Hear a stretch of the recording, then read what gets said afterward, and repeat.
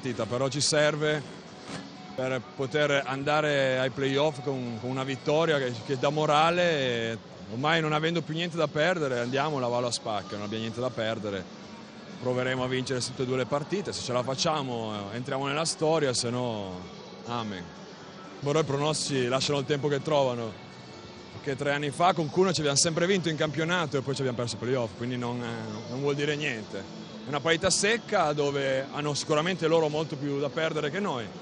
Noi andiamo là e l'importante è uscire a testa alta, poi il risultato non importa.